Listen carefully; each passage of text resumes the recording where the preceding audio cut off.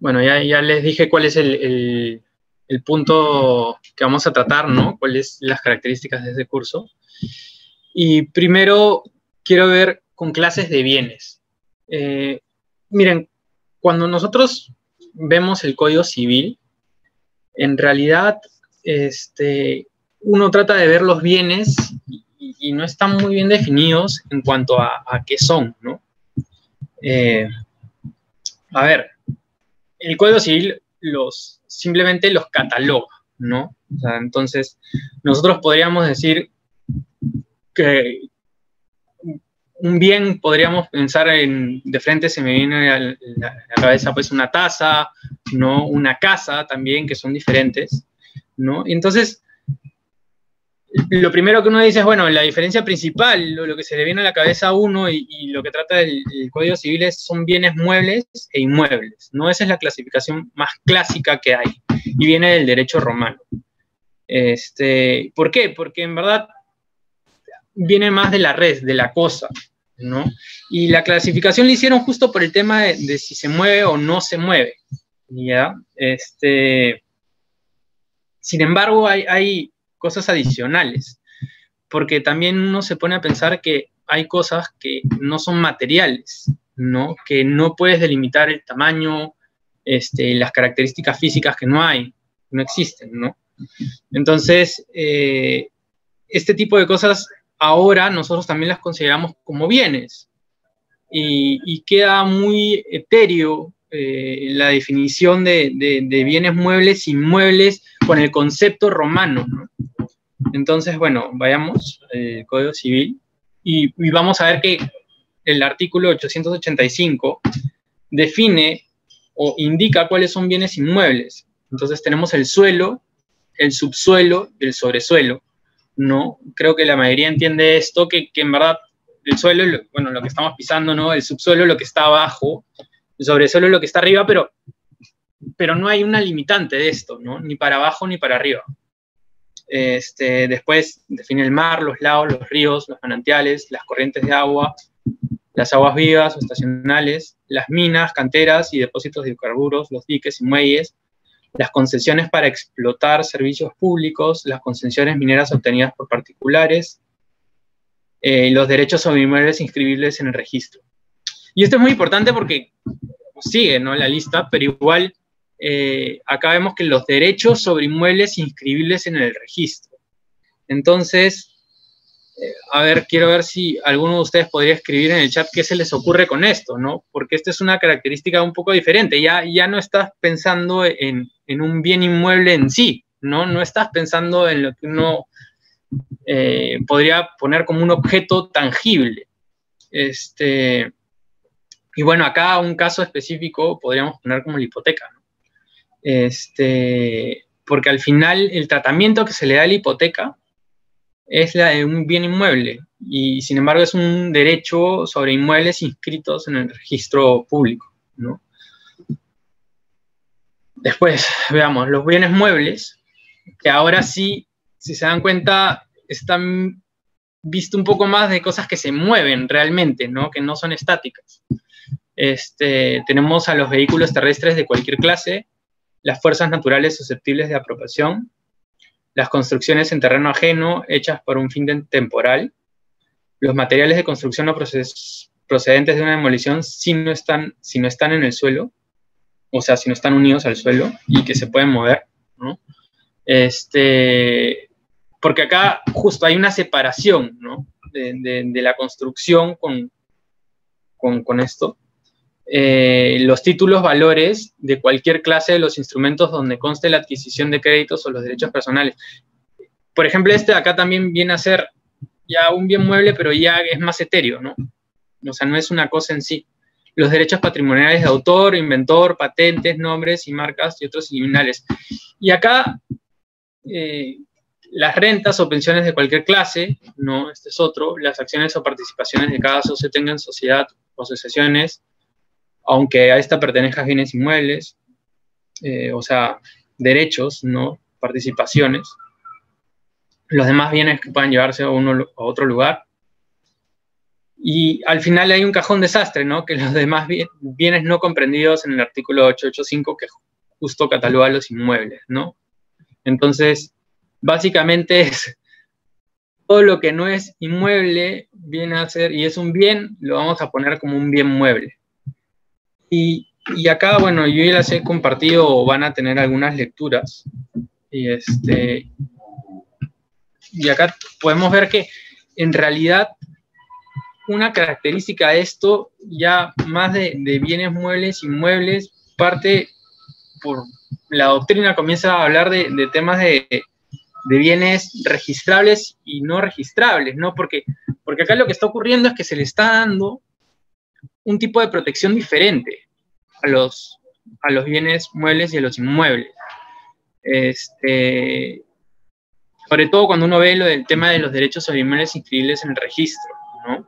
Porque les está dando una oponibilidad mayor. Y esto, de acuerdo con el profesor Mejorada, por ejemplo, eh, parte justo porque la sociedad les da una importancia mayor. Y lo que se quiere es tener eh, una solvencia suficiente para poder defenderlos. Claro que este tipo de cosas lo que genera en realidad es una, eh, ¿cómo le pongo? Son costos transaccionales mayores, ¿no? O sea, el tema de que estén registros públicos o no, existen costos transaccionales mayores. Sin embargo, la sociedad los acepta porque justo se le está dando este tipo de protección. Y, acá yo quiero ir un poco más allá y, quiero analizar un poco la realidad, ¿no? miren, no sé si ustedes han visto, pero existen cosas como, por ejemplo, blockchain, ¿no? Que, lo digo para cambiar un poco el tema y, se dan cuenta que ahora temas como Legal Tech te permiten tener un registro inmobiliario que no, te tiene, no tiene estos costos transaccionales muy altos, ¿no? Y, qué ocurre? Que, en realidad incluso bienes muebles que podrían ser identificables y que puedan tener el tema de registros, que de hecho lo hay, ¿no? Por eso es que la doctrina a veces piensa, eh, o hay discusión si en verdad debería haber esta distinción cuando realmente deberían ser más bienes que sean susceptibles de registro y otros no. Eh, es tan necesaria en el futuro cuando podría existir una forma de, tener una oponibilidad muy fehaciente mediante este tipo de, nuevas tecnologías. ¿no? Eh, no sé si acá hay alguna duda o comentario. La verdad es que es un poco complicado manejar la presentación así porque no los puedo leer. Este, a ver. Jonathan Silva. Ahora, creo que ustedes pueden ver mi pantalla. ¿Me podrían escribir si están viendo ahora cuando yo estoy con el chat?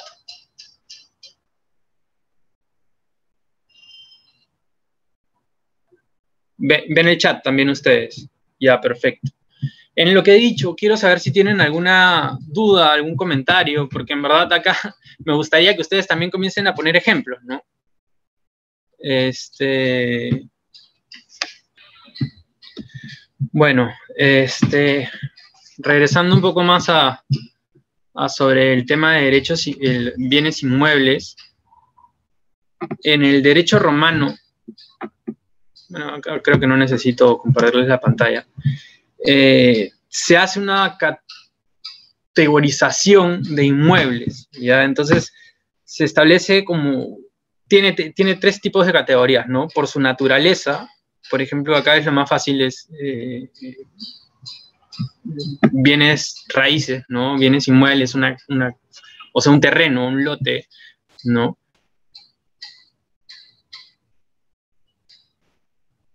Ah, Edison, sí, pueden haber varios bienes muebles sobre un bien inmueble, sí. Eh, de hecho, eso no hay ningún problema. La cosa es que, la cosa es que no tenga no tenga esta característica de accesión. Justo ahora lo vamos a ver. Eh, un inmueble tiene, puede ser por naturaleza, puede ser por destinación, ¿no? que son bienes muebles que, se, eh, que sirvan para el aprovechamiento de un predio jurídicamente inmovilizado. Por ejemplo, imaginemos que haya una, eh, no sé, tenemos una casa y, le ponemos un jacuzzi, ¿no? Y el jacuzzi se puede mover o no, pero está ahí. Entonces se está destinando a esto y, ya la casa lo, tiene. Cuando alguien lo quiera comprar, dependiendo de la situación en la que se encuentre o, cómo esté, uno va a determinar si en verdad la casa si el jacuzzi pertenece a la casa o no pertenece a la casa, ¿no? Y, esto, y esto lo van a ver mucho en temas inmobiliarios cuando hayan contratos de compraventa, ¿no? Un arrendamiento que, les den con muebles, este, que de por sí, si hacen un contrato de arrendamiento con, bienes muebles, lo más recomendable es tener un, anexo, ¿no? Que detalle perfectamente todos los bienes que se le están entregando. Este, pero, claro, imaginemos que, ustedes entran en una casa y la compran, la ven, la compran porque tiene piscina y de repente este, regresan, ¿no? Les hacen la entrega y la piscina ya no existe porque la sacaron, ¿no? Sí, sí. Eh, como digo, la, la clasificación que se le da a un bien inmueble en verdad ya pasa de ser, este, o sea, Edison me pregunta, entonces puede haber varios bienes muebles, un ratito borraron la, no, puede ser una nave también un bien inmueble, ¿verdad? Sí, o sea, porque se le está dando más la categoría de, tal y, por el tema de que sea registrable. ¿Cómo es el caso de una construcción en un inmueble rentado? Bueno, lo que pasa es que acá el inmueble, si es parte de, ¿no? O sea, si la construcción es parte de, se entiende como, como parte del inmueble y no puede ser separado, con lo cual sí está incluido. Entonces, bueno, como les repetía, los inmuebles pueden ser por naturaleza, destinación y accesión. Eran muebles, pero su incorporación al predio se materializa. imaginemos una, casa, se las venden, ¿no? Y, y le quitan las puertas. O sea, la puerta de por sí ya es un bien mueble, ¿no? Cumple con todas las características, de, funciona por sí sola como una puerta, o sea, como, pero necesita, a ver, es una tabla de madera por sí sola, pero si no está en, y ahí cumple una función, pero si no está en la casa, se pierde esto, entonces es completamente necesaria. Cuando lo compren, no les va a pasar el caso de que le sacan las puertas a la casa, ¿no? Entonces, este, bueno, esa, es una cosa que quería aclarar. No sé si tienen otra duda un poco al respecto. Lo que sí deben tener en consideración es que, claro, cuando hayan bienes muebles dentro de la casa, que efectivamente cumplan como muebles, o sea, que tengan la función en sí, que nunca cambie. Por ejemplo, una silla, ¿no? Una silla dentro de una casa va a seguir funcionando como una silla. Y, el tratamiento que se le va a dar a esta silla va a ser igual. En la calle va a servir para sentarse pero en cambio una puerta no, una puerta en la calle uno ve simplemente una tabla de madera y, no, va a ser lo mismo este, que cuando está puesto en una casa para, poder entrar y salir. Bueno, y ahora lo que tenemos que ver es eh, la propiedad, ¿no? El Código Civil define la propiedad como el poder jurídico que permite usar, disfrutar, disponer, reivindicar un bien debe ejercerse en armonía con el interés social y dentro de los límites de la ley. Nosotros más adelante vamos a hablar del tema de los límites de la ley el interés social, ¿ya? Pero acá lo que tenemos que ver es que tiene cuatro características principales, ¿no? Eh, el de usar, disfrutar, disponer y reivindicar. Reivindicar en realidad viene a ser más como un derecho de, poder perseguir la propiedad y, poder tenerla de nuevo, ¿no? Pero avancemos un poco. Eh, la propiedad también está regulada por, nuestro, nuestra Constitución. Miren, el, artículo 70 de la Constitución Política del Perú indica que el derecho de propiedad es inviolable. ¿ya? El Estado lo garantiza. Creo que ahora, con, todo lo que está pasando en la coyuntura, e, esto es una cosa que ustedes eh, deben saber que está completamente reconocido. ¿no? Se ejerce en armonía con el bien común y dentro de los límites de la ley. Acá hay una coincidencia con el Código Civil, ¿no? este, el tema de que existen límites que pueden ser dados por ley. Y bueno, también veremos que incluso podrían entre partes ponerse límites, ¿no? eh, a nadie puede privarse de su propiedad sino exclusivamente por causa de seguridad nacional o necesidad pública, declarada por ley y previo pago en efectivo de indemnización justipreciada, que incluye compensación por eventual prejuicio. Hay acción ante el Poder Judicial para contestar el valor de la propiedad que el Estado haya señalado como un procedimiento expropiatorio. Este artículo, en verdad, yo los pongo para que vean la importancia que se le da en la Constitución a la propiedad, ¿no? Porque es el derecho digamos, de derechos sobre las cosas. Este, sobre él hay, como les digo, el usar, el disfrutar, son derechos que están incorporados, que son parte del derecho de propiedad, y entonces el derecho de derecho. Eh, después vayamos por el propiedad común. Acá no lo vamos a tratar eh, a profundidad, pero ustedes tienen que saber que existe, ¿no? Este, que es cuando de alguna forma se comparte la propiedad. Y eso que, hay características de la propiedad que, vamos a hablar un poco más adelante, pero eh, el artículo 958, por ejemplo, dice, la propiedad horizontal se rige, por la legislación de la materia.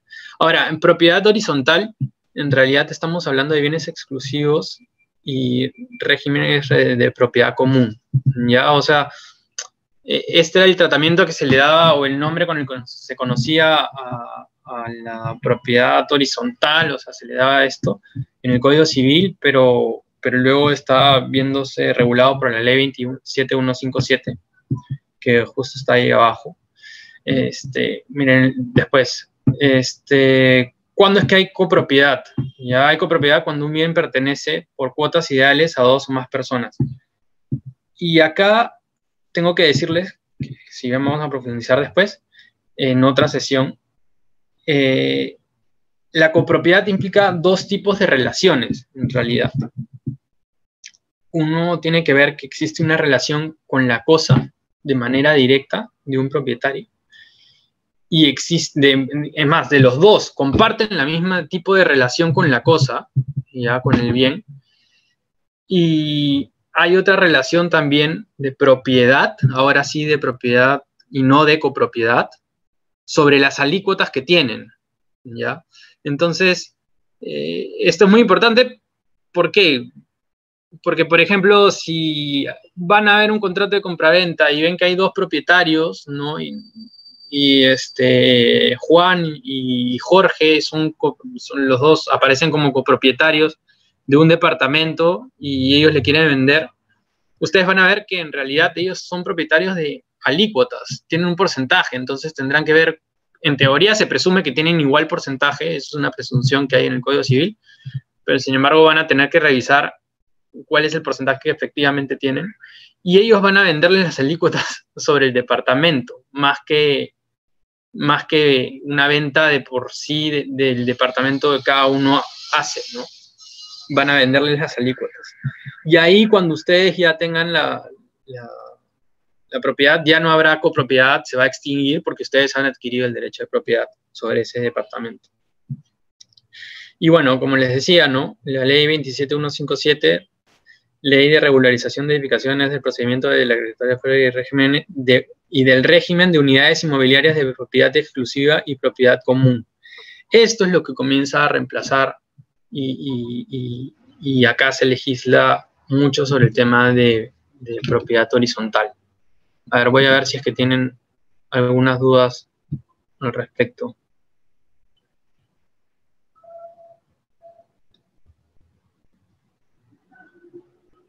Lo que pasa es que en verdad eh, la, propiedad es un derecho subjetivo objetivo. en, verdad la propiedad es un derecho que recae de una persona con la cosa, es un derecho real. Entonces es objetivo, no es, sobre la cosa. Los derechos reales van sobre la cosa, no es, no es una relación con otros. Que tú tengas un contrato de compraventa y que veas las características, esa relación contractual va a ser subjetiva, pero la propiedad que uno detenta sobre el bien va a ser objetiva. Este, eso ya es un poco doctrinario, pero espero que haber respondido a Julio. Este. A ver.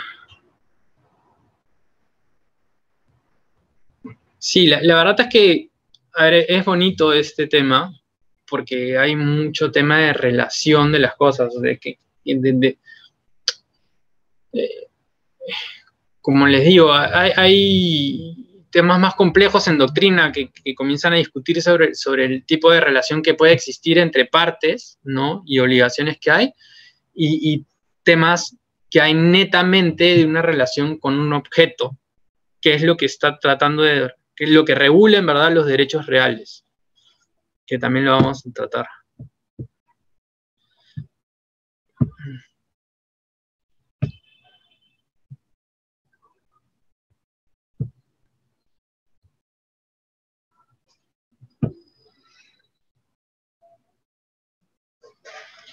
Ya, miren, ¿se acuerdan que les hablé de usar, disfrutar? Este, y, bueno, nosotros ahora vamos a hablar uno por uno de ellos, ¿no? Este, el derecho de usar, ¿no?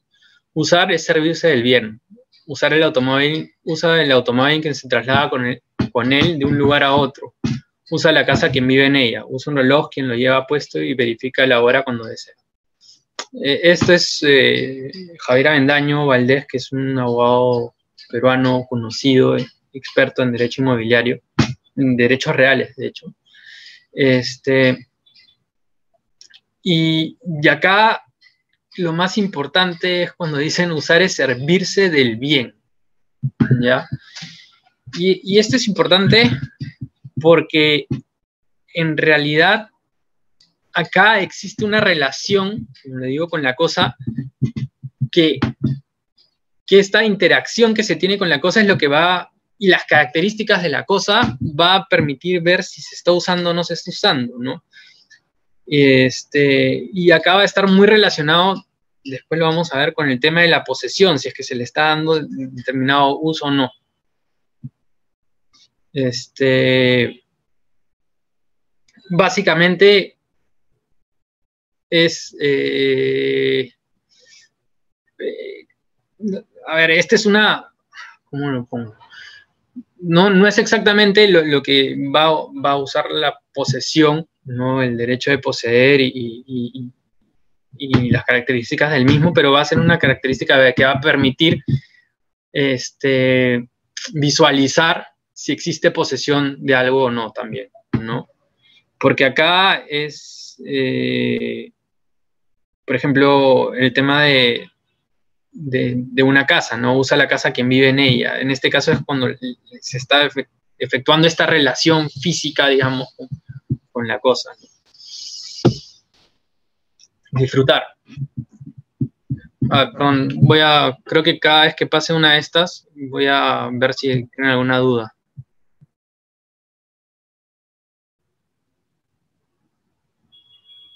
Ah, Daniel, este, cómo se transfiere la propiedad de inmueble. Bueno, esto lo vamos a ver después, pero en, realidad eh, hay un tema de título y modo, ¿no? Este, en teoría sería con,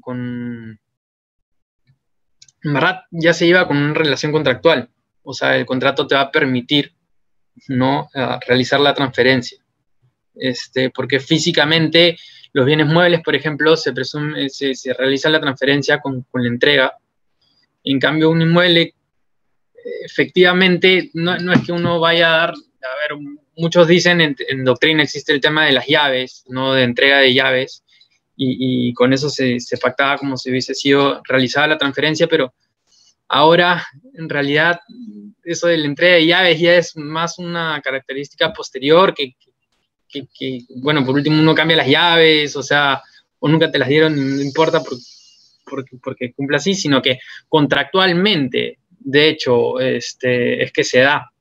Y, bueno, esto es para las personas que no hayan estudiado derecho, un contrato en verdad es un acto entre partes, ¿no? un acuerdo entre partes, y no necesariamente tiene que estar ni siquiera escrito, ¿no? Puede ser una, un acuerdo entre dos. Este, eh, y, así está. Lo único que, claro, al tratarse de un bien inmueble, y en este caso entiendo que se está refiriendo, por ejemplo, a una casa, ¿no? A un terreno, este, van a existir, pues, eh, ciertas, eh, no protocolos, pero ciertas formalidades que te permitan proteger tu derecho de propiedad frente a terceros, porque uno va a tener que de alguna forma demostrar que este derecho es exclusivo y por lo tanto excluye a terceros, ¿no? Y que sea oponible.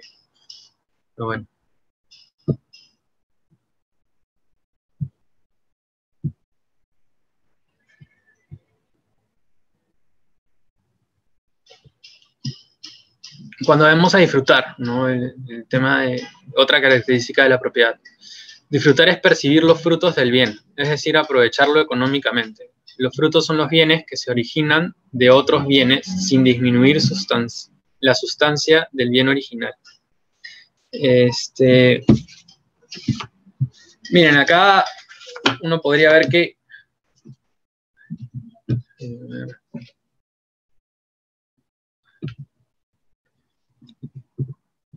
Justo está acá. En verdad tiene que haber un beneficio económico, ¿no? O sea, esta es la idea del disfrute. Este, y que no desgaste, y, la otra característica es sin disminuir la sustancia del bien original. O sea, no es que. Eh, o sea, por ejemplo, no sé, un, lápiz, ¿no? Que, uno lo está usando, es propietario del lápiz y, lo va usando y, y, eso no va a poder ser considerado de, esa forma porque no, está sacándole fruto, ¿no? No está, o sea, está sacándole un, está utilizándolo, pero no está sacándole un, provecho económico. Otra cosa es que alquiles tu lápiz, lo, prestes y cobres algo, ahí sí está dando una relación un poco diferente. Entonces, veamos, ¿cuáles son los tipos de, frutos, ¿no? ¿Qué, es lo que se produce del disfrute? Existen tres tipos eh, por la doctrina dicen naturales, que son los que provienen del bien y sin intervención, sin intervención humana, industriales, producidos con intervención humana, y civiles, nacidos de una relación jurídica, contrato. Por lo general, por ejemplo, un arrendamiento, digamos, es lo más fácil que se le viene a la cabeza a uno en cuanto al disfrute de, de, de una casa, ¿no? Porque vas a percibir una renta al respecto. Y este, y es la idea más fácil en, realidad. Eh, eh, sin embargo, cuando uno va a los tipos de frutos naturales, que provienen del bien sin intervención humana, industriales, producidos con intervención humana, ya ahora eh, hay ciertas características que hacen que no se puedan diferenciar tanto. Ahora, esta es una discusión de doctrina, tampoco es, creo que, bueno, tiene efectos en el Código Civil, ¿no? La regularización de cada una en cuanto a los pagos, indemnizaciones por los mismos, y tiene un poco de tratamiento diferente, pero no vamos a ahondar en eso.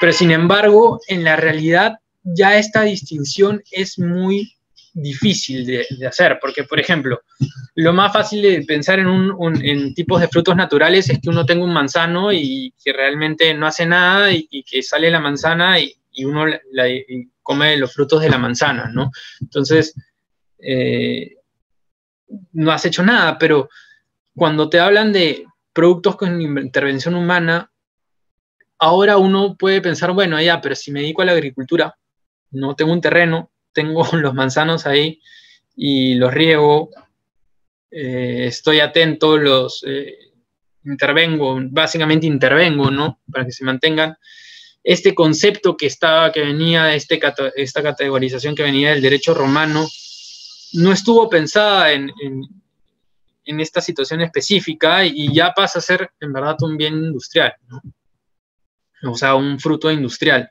Y el tratamiento se le puede dar de una manera diferente. A ver, vamos a ver si tienen dudas.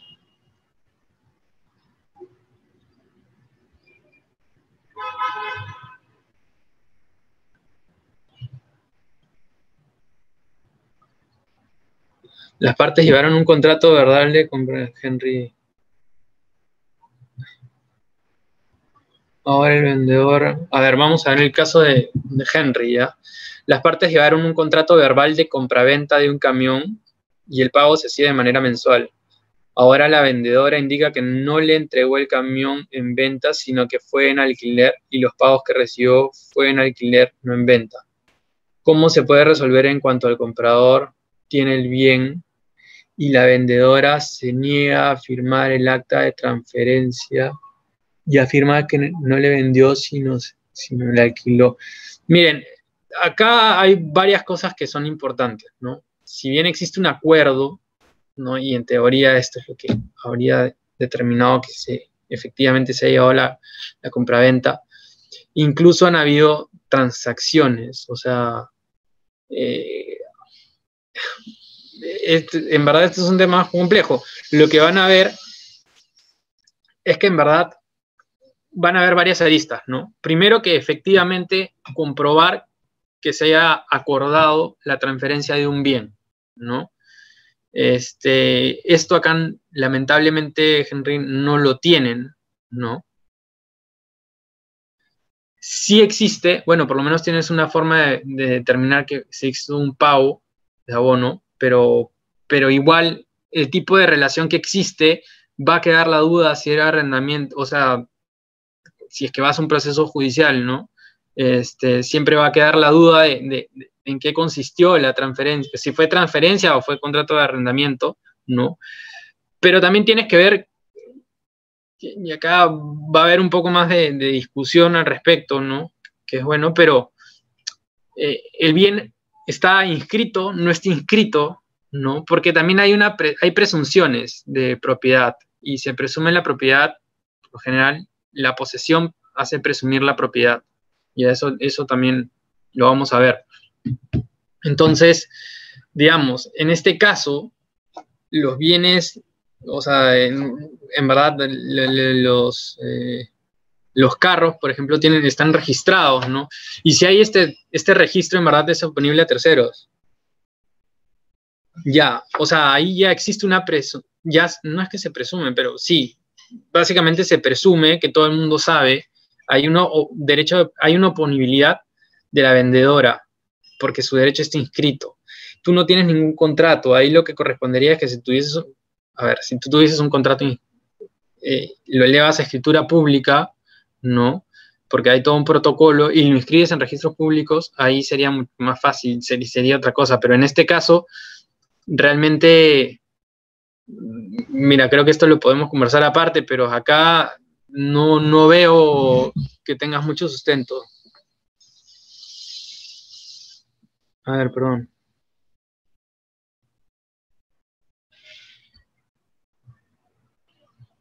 Claro, pero digamos, está bien lo que dice Wendy, perfecto por la aclaración, pero ya estás yendo por otro día, ¿no? O sea, estábamos discutiendo más si había, existía un contrato o no. No, que en teoría sí existe, pero no hay cómo formarlo, pero está bien lo, que tramitas de, la prescripción. Eh, pero acá justo lo que tú estás viendo es si es que existe el título o no, ¿no? Porque estás viendo, le queda tramitar la prescripción. Ahora, si hay un contrato privado con firmas legalizadas de por medio, que en este caso no existe, claro, ahí tú estás, ya está bien, pero esa es una exigencia un derecho que uno tiene para, para formalizar la transferencia, ¿no? Es que, mira, ahí lo difícil es probar que efectivamente se haya acordado un, tema de, de, transferencia, ¿no? Pero lo que dice Wendy es verdad, o sea, en todo caso lo que vas a tratar de demostrar es que tú por la posesión como propietario, por un tiempo, plazo determinado, has adquirido por prescripción la, propiedad del bien mueble. Ya, disponer, que esta es otra característica de la propiedad, ¿no? Disponer es prescindir del bien, mejor aún del derecho, deshacerse de la cosa, ya sea jurídica o físicamente. Un acto de disposición es la enajenación del bien, otro es el hipotecario, finalmente es abandonarlo o destruirlo, ¿no? Este, bueno, como ven, básicamente es justo poder deshacerse, ¿no? De la cosa, o sea, en este caso, bueno, en el caso anterior es claramente en una compraventa, se está dando una disposición del bien, ¿no? Y incluso también, digamos, cuando existe el abandono, o sea, es una forma de, a veces un, un, castigo que se le puede dar, pero en realidad es una forma de disposición que se le hace por el, por el Código Civil. A ver. Y este es el otro atributo, ¿no? Eh, la reivindicación. Eh, la reivindicación no es propiamente un atributo, sino el ejercicio de la persecutoriedad, que es una facultad de la cual goza el titular de todo derecho real. Eh, el poseedor, el usufructuario, el acreedor hipotecario, todos pueden perseguir el bien sobre el cual recae la cosa. Entonces, bueno, el propietario claramente, la propiedad es un derecho real, ¿no? De hecho, es el principal o digamos el, más clásico por naturaleza, contiene todos los atributos y, en verdad es una acción, ¿no? Es, este, es perseguir que se te restituya el bien.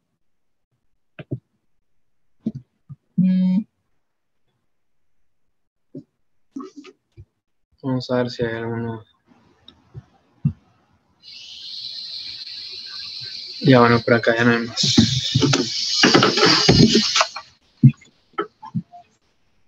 Este, bueno, esto acá no está en el Código Civil, pero son las características que tiene el derecho de propiedad, ¿no? Este, es un derecho real, esto así se lo confiere la, el Código Civil, está la ley, ¿no? Este, básicamente existe una relación directa con la cosa y ya no es una relación que existe entre, o sea, no, es como, como la pregunta que me hicieron antes, es, es un carácter subjetivo o objetivo, y en verdad es objetivo porque va directo con la cosa, ya una, tiene una relación con, con el objeto. Es este, absoluto porque tiene todas las características que, que otros derechos reales tienen aparte, que son justo las que hemos estado hablando antes, ¿no? Usar, disfrutar, disponer y, bueno, reivindicar de acuerdo con el Código Civil, a pesar que hemos visto que es una acción, es exclusivo, o sea, excluyente, que te permite, en realidad, o sea, la característica es una propiedad, ¿no? Tú lo usas, no lo usa otra persona, ¿no? Y en teoría es perpetuo, porque salvo un castigo, salvo el abandono, o sea, la enajenación, o bueno, este, otra persona lo, adquiera por prescripción adquisitiva, digamos, en verdad se presumen que se mantiene en el tiempo. O sea, hay, un, como les digo, hay algún tipo de excepción o, de limitaciones a esto, pero en realidad esta es una característica, ¿no? Uno va a ser propietario básicamente siempre. Esta es otra cosa que estábamos viendo. A ver, bueno, las otras características. Generalmente esto sí le preguntan. A ver, ya Daniel pregunta, ¿cuántas veces puedo vender mi inmueble? Y dos, cuando compro un inmueble me pueden restringir el contrato que no venda después.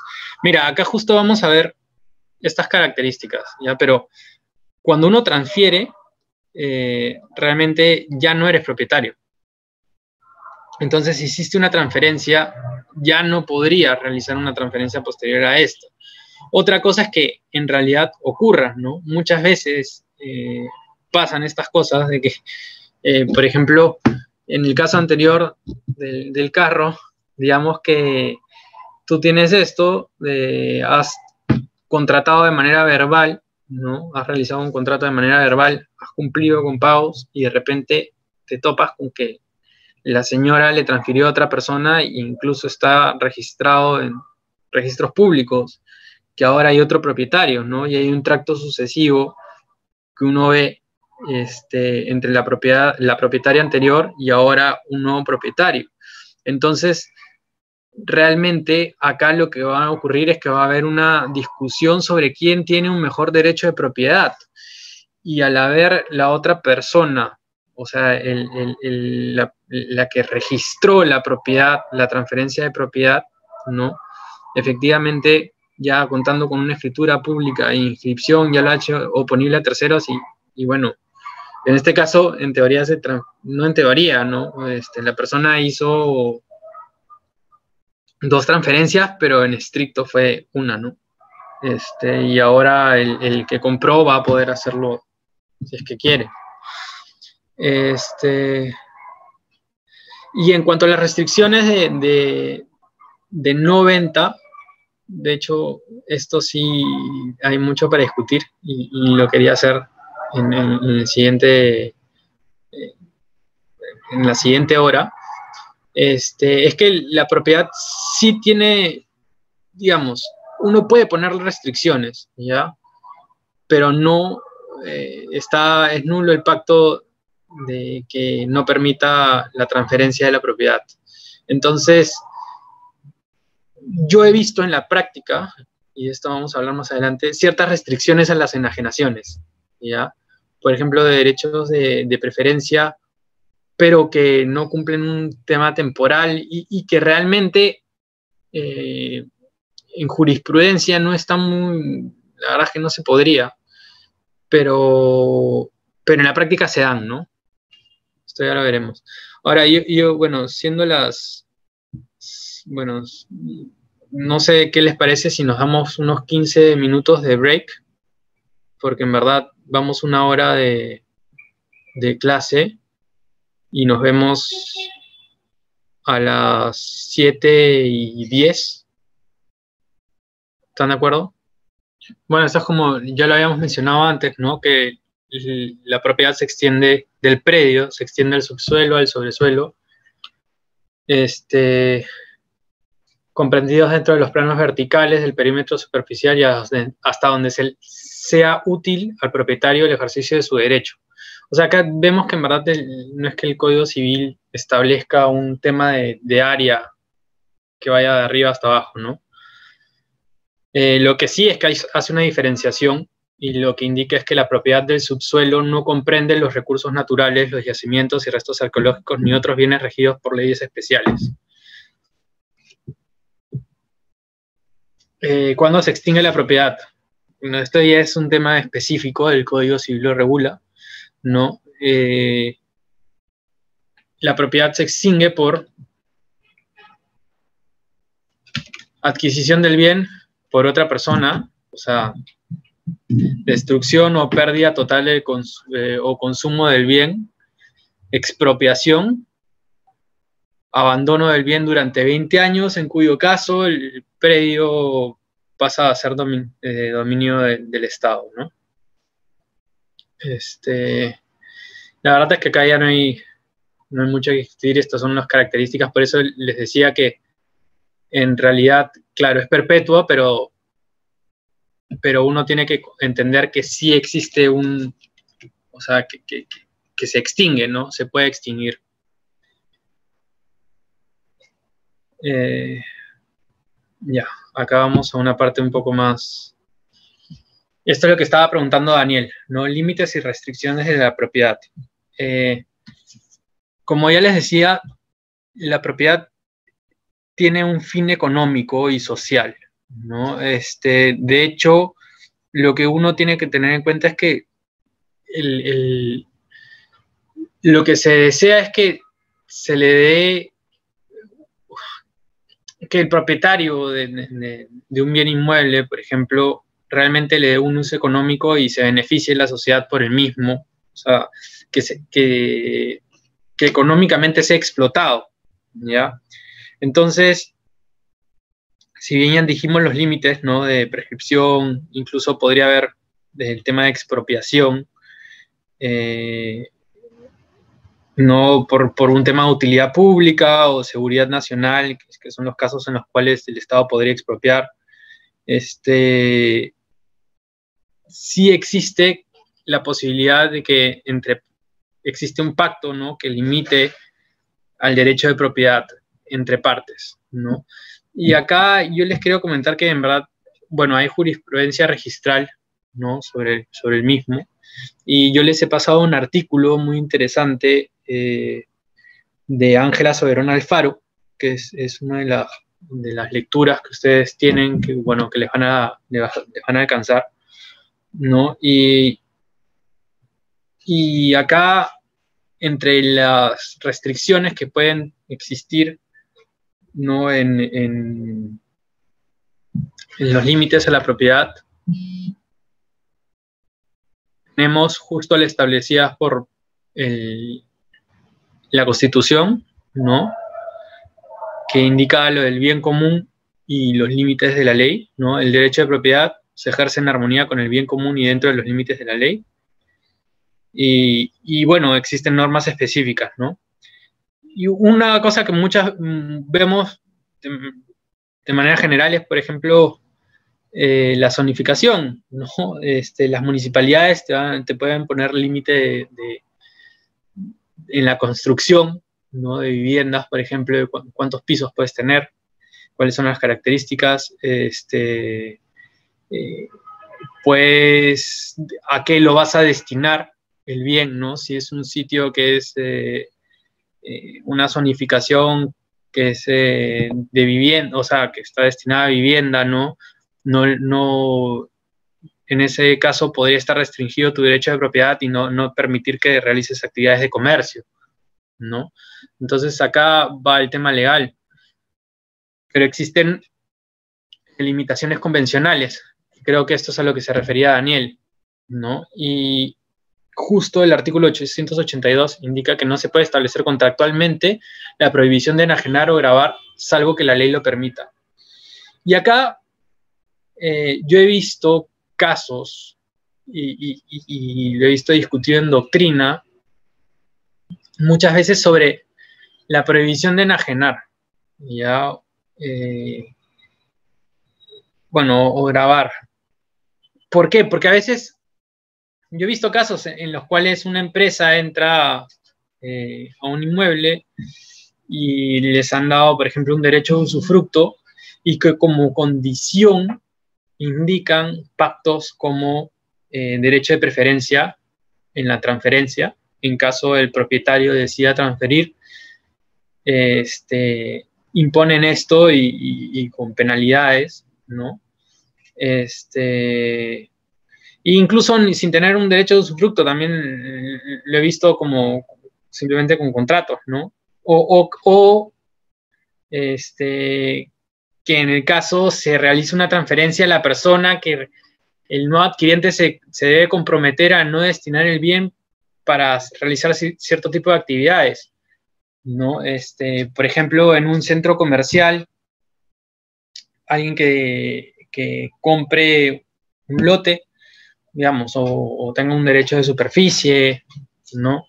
Este, y le pone como condiciones al propietario que, que en una zona aledaña ¿no? Eh, eh, no, pueda dedicarse a actividades que vayan en contra de ellos y, que no pueda vender a personas que, naturales o jurídicas que se dediquen a esta actividad. Por ejemplo, tengo una cafetería y decido que no quiero tener competencia alrededor y digo que, bueno, que cualquier persona que entre en este sitio, en esta zona periférica, en esta área, no puede realizar estas actividades, ¿no? Este, y, por lo tanto no se le puede transferir una, básicamente a mi competencia, ¿no? Y acá claramente el artículo lo prohíbe. Y, y no solo eso, sino que sino que sí existe jurisprudencia al respecto, no registral, un rato que las quiero que justo prohíbe lo mismo, ¿no?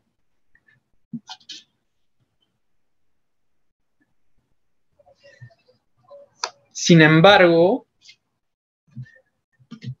lo que existe es una sanción eh, entre las partes, o sea, digamos, sí, ¿por qué existe esto a pesar de que la ley no lo permite, ¿no?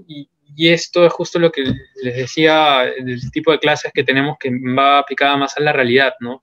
Se da porque existe un castigo eh, social, en castigo de mercado, ¿no? O sea, si lo has pactado, y esto es, muchas veces pasa con empresas americanas que entran al país y, consideran que, se sigue pues eh, un derecho anglosajón de alguna forma, ¿no? Donde todo lo pactado en el contrato es lo que, lo que está vinculando las partes, a pesar de que existen limitaciones por nuestro Código Civil, este, que indica pues, que no, se pueden establecer estas condiciones. Eh, este, se dan, ¿no? Y, lo digo porque porque, por ejemplo, en, esta empresa de real estate ha pasado varias veces y se ponen muchas condiciones de este tipo, ¿no?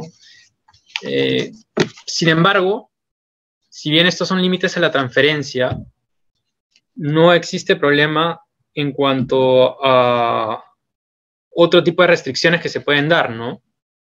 Este, por ejemplo, se podrían dar restricciones de no construir, esto es muy común, o, de no arrendar, este,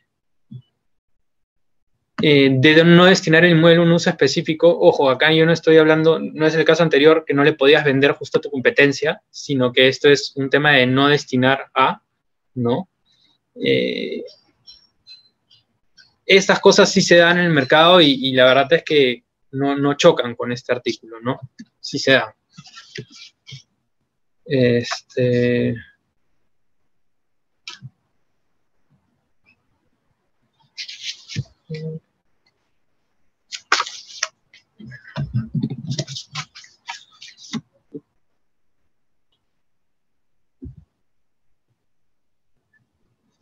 Ahora veamos otro derecho real. Hablemos de la posesión. La posesión es el ejercicio de, hecho de uno o más poderes inherentes a la propiedad. A ver, acá les quiero hablar un poco de, temas de derecho romano. ¿ya? Eh, la, posesión tiene una, digamos, nuestro código civil regula, ¿no? Y, tiene una historia que, que va mejor dicho, cumple un fin, que es eh, una presunción de propiedad.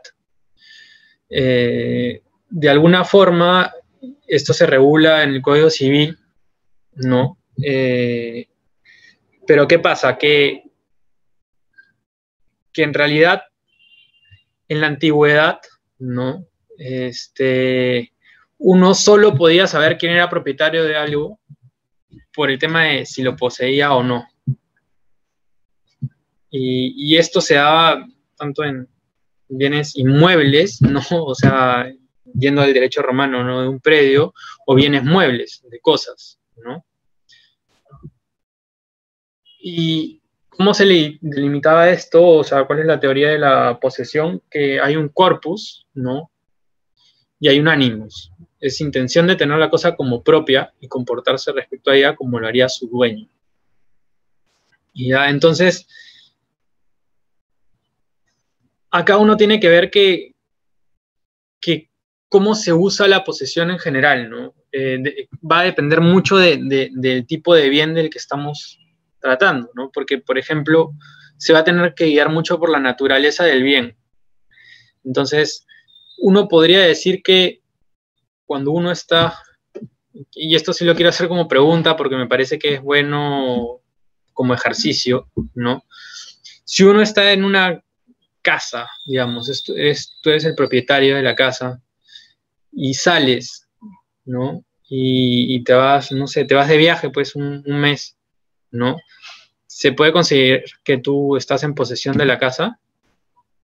A ver, ¿quién me responde?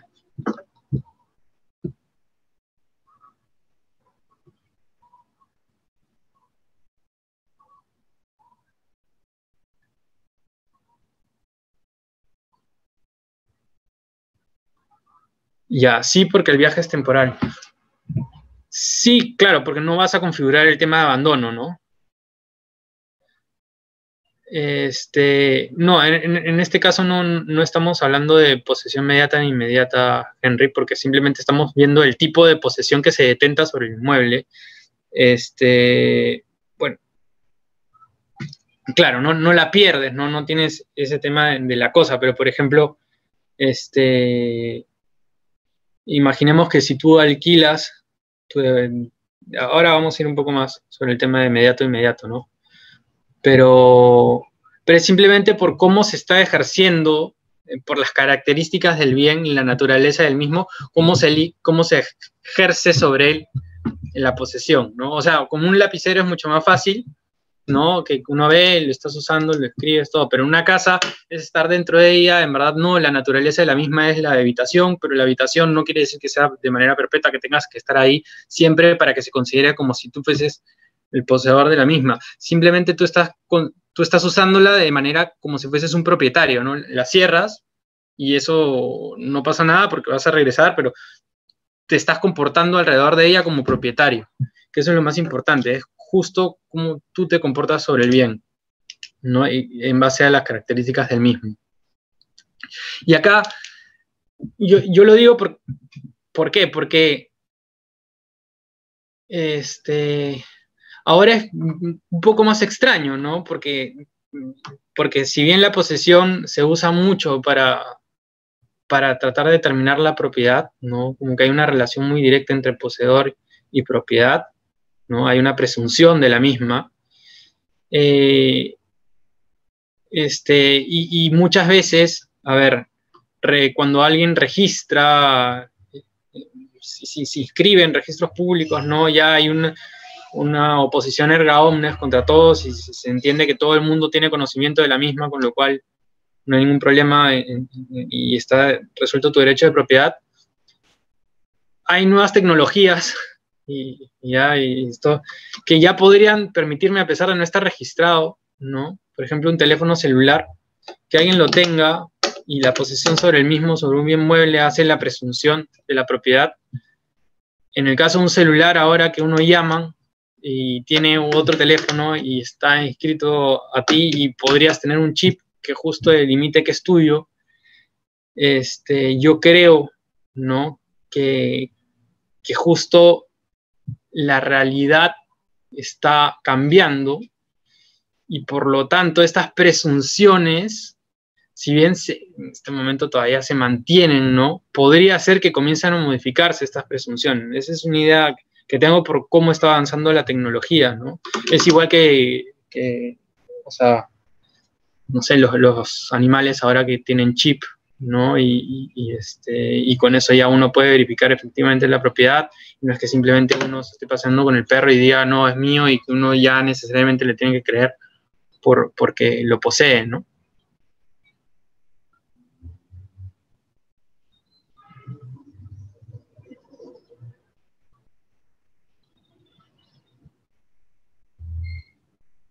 Sí, la posesión, claro, es usar y disfrutar el bien.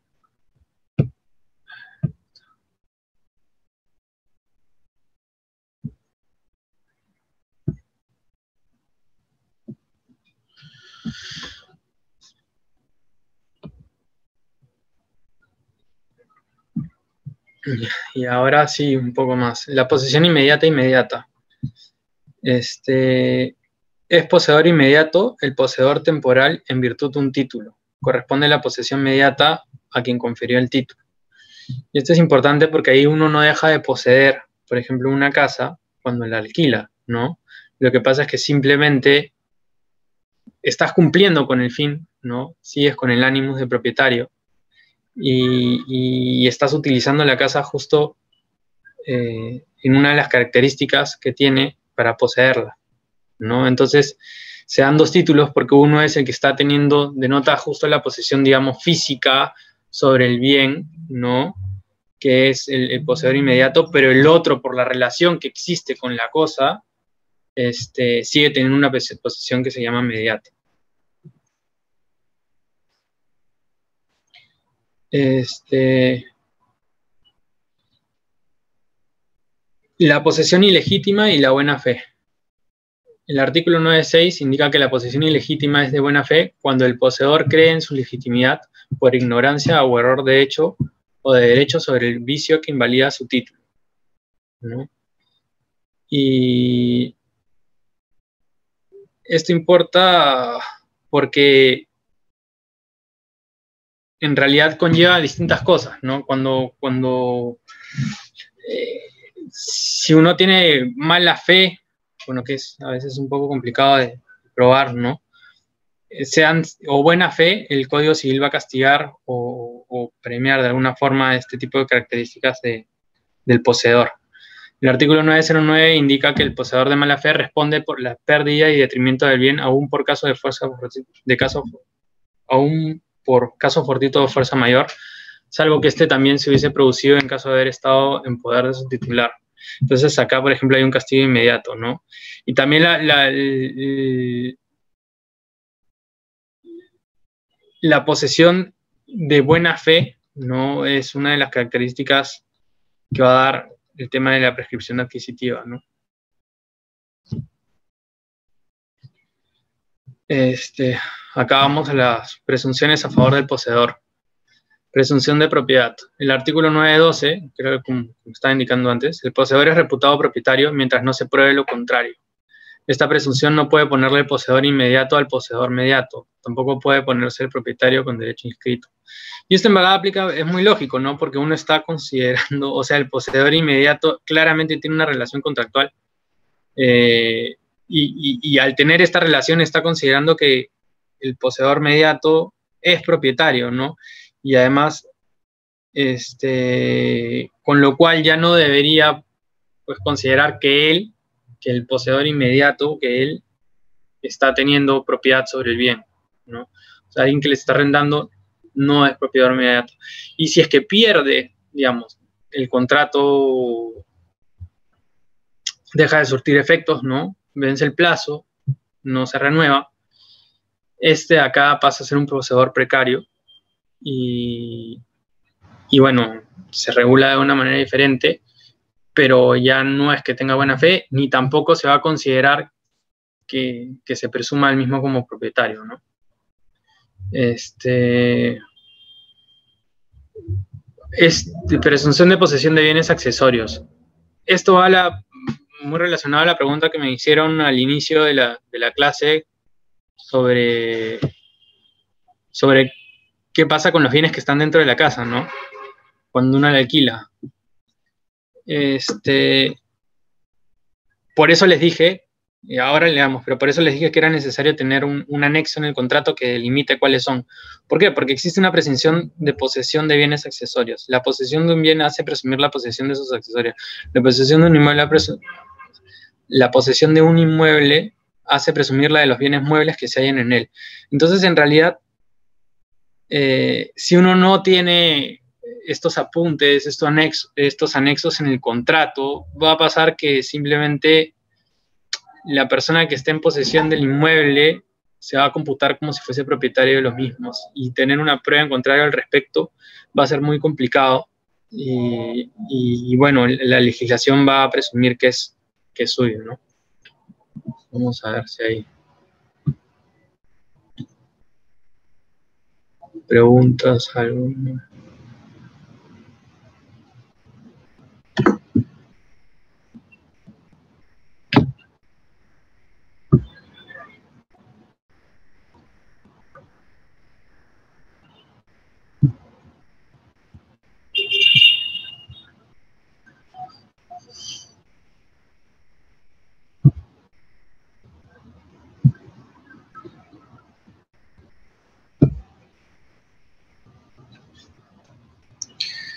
Presunciones a favor del poseedor. Presunción de buena fe del poseedor. El artículo 914 indica que se presume la buena fe del poseedor salvo prueba en contrario. La presunción a que se refiere este artículo no favorece al poseedor del bien inscrito a nombre de otra persona. Este,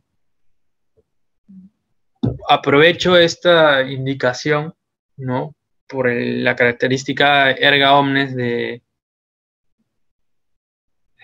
de la inscripción de la propiedad, ¿no? Este, es muy importante inscribir, por ejemplo, los bienes inmuebles, porque ya no va a haber una persona que esté utilizando tu bien y que esté tratando de poseerlo, ¿no? Y que se pueda computar como el mismo eh, poseedor porque este, simplemente esa es la protección que le da a registros públicos, ¿no?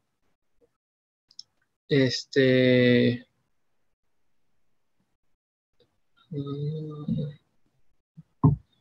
Y aprovecho esto, como les decía, para decir cuáles son los principios que nacen de, la inscripción registral. O sea, uno tiene un tema de legitimación, ¿no? Que se, se indica quién es el propietario, de prioridad, por el tracto sucesivo también. Este, se presume también con la inscripción que todo lo que está ahí tiene legalidad, ¿no? porque ha sido revisado por el registrador. Eh, y tiene ciertas preferencias, por ejemplo, una hipoteca, ¿no? O sea, eh, el que venga después, la hipoteca que estuvo en fiesta anterior, va a favorecer. Este, ya, bueno.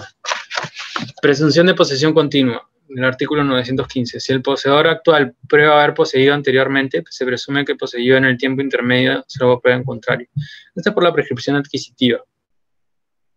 Este, la verdad es que es una presunción muy favorable ¿no? al poseedor, porque te permite sumar los plazos y no es que uno tenga que eh, tener que constatar toda esto, esta serie de plazos, ¿no? Simplemente el inicio y el final, salvo que existan pruebas en contrario, siempre se va a entender que se mantuvo este tipo de posesión sobre el bien.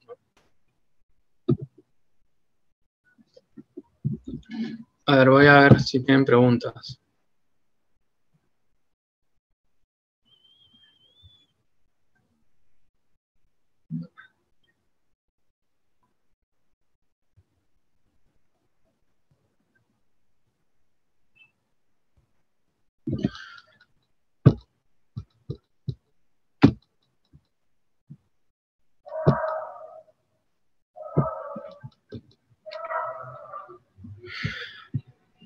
Bueno, las mejoras. Las mejoras que hay sobre los bienes inmuebles, ¿no? Eh, hay tipos, diferentes tipos de mejoras, ¿no? las mejoras son necesarias cuando tienen por objeto impedir la destrucción o deterioro del bien. Son útiles las que, sin pertenecer a la categoría de las necesarias, aumentan el valor de la renta del bien y son de recreo cuando, sin ser necesarias ni útiles, sirven para ornato, lucimiento o mayor comodidad la categoría de cada una de estas va, a determinar cómo se devuelve también el bien, ¿no? Y, este, y, la, y, el pago de las mismas en el caso se restituyan, ¿no? Eh, acá les quería les quería hacer unas preguntas, de repente a ver qué consideran que es una piscina, ¿no? Si es que les dan una casa y ustedes realizan una mejora con autorización del propietario de hacer una piscina, por ejemplo, ¿de qué tipo de, de, mejora considerarían que es de recreo, necesaria, útil? ¿No? A ver.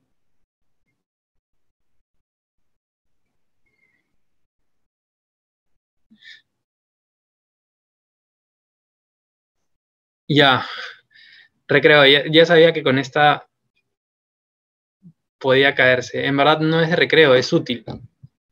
Porque por las características de la misma,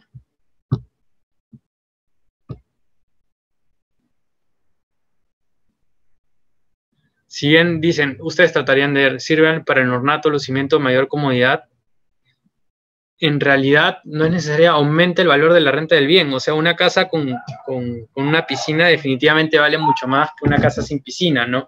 Tanto así que, bueno, ahora muchos están buscando este tipo de cosas. Por ejemplo, otros que tengan una terraza, ¿no? Que construyen una terraza, adecuan esto y le ponen terraza y esto es una característica que uno pensaría que es de recreo, pero en verdad no es que solo sirva el ornato, sino que sí le está dando un, este, una mejora en el valor del, bien. Este, sé que es discutible, ya, sé que es discutible, tampoco es que muchas veces tratan de dar este ejemplo para otro tipo, pero yo diría más no sé, pues una mejora de recreo que, que trate después de, una, no sé, pongas, no se me ocurre, unas pinturas en la pared especiales o, ciertas luces de colores, ¿no? Que, que, varían un poco, pero no, no es exactamente lo mismo,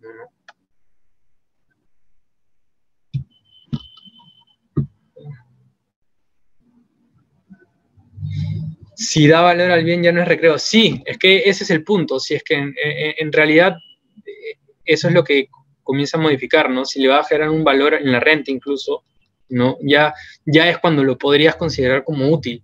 O sea, eso es lo que te está permitiendo el Código Civil, más que recreo. Este, califica más como, califica con la categoría de útil más que de recreo, ¿no?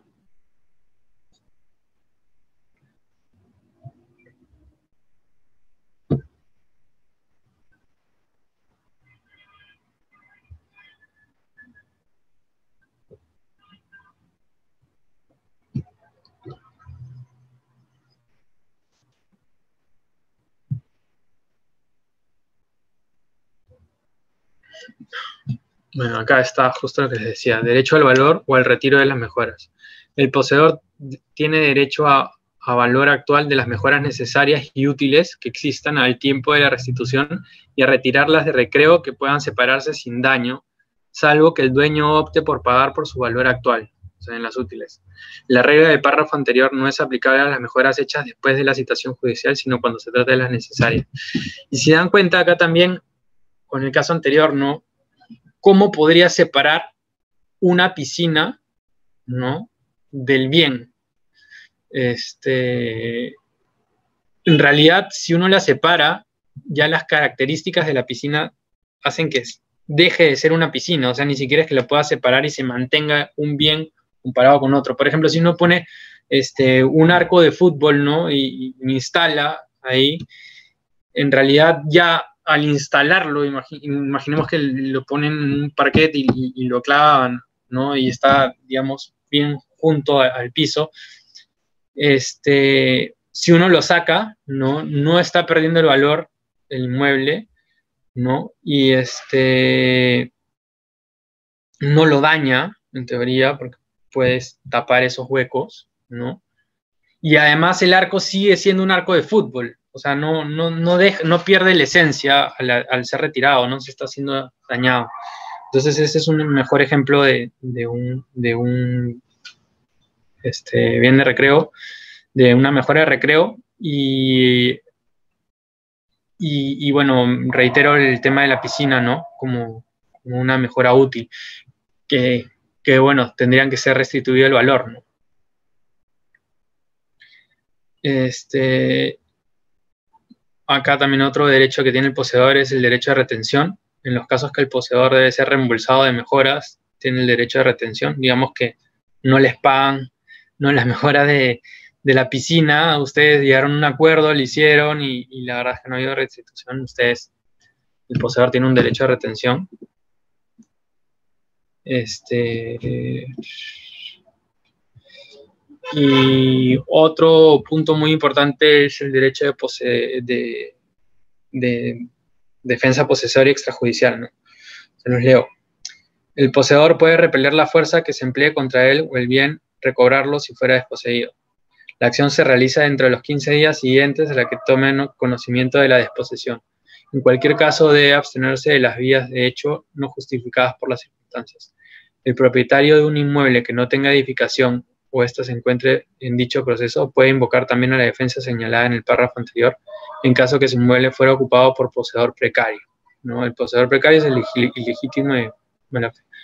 En ningún caso procede la defensa posesoria si el poseedor precario ha usufructuado el bien como propietario por lo menos 10 años. ¿Y acá por qué? Porque le están yendo por el tema de prescripción adquisitiva. Este, la Policía Nacional del Perú, así como las municipalidades respectivas en el marco de sus competencias previstas en la ley orgánica de municipalidades, deben prestar el apoyo necesario a efectos de garantizar el estricto cumplimiento eh, del presente artículo bajo responsabilidad, que es el anterior, no el 920. En ningún caso procede la defensa posesoria contra el propietario de un inmueble, salvo que lo haya operado, que haya operado la prescripción regulada en el 950 del Código Civil, que la prescripción adquisitiva. A ver, ¿alguna duda al respecto?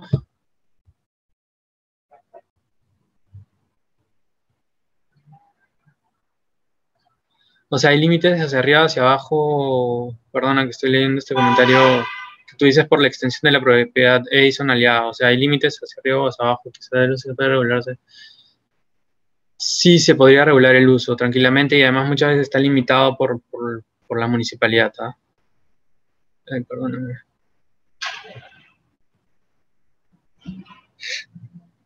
Ya, alguien que renta un bien inmueble es poseedor también, sí. Lo que pasa es que hay distintos tipos de posesión, ¿no? Aquí estábamos de inmediata a inmediata. Este, el, el, este, el, el arrendatario está teniendo pues una posesión inmediata sobre el bien porque lo está utilizando eh, para su uso, digamos, ¿no? Y en cambio el, el arrendador, ¿no? Está utilizando el bien, disfrutando del mismo, ¿no? Con la renta y, y está ejerciendo una posesión que si bien no está teniendo este contacto, o sea, no es inmediata, se considera como inmediata. O sea, es catalogada como posesión inmediata, ¿no? Y eso justo está indicado en el Código Civil. Eh, espero haber respondido tu consulta, Edinson.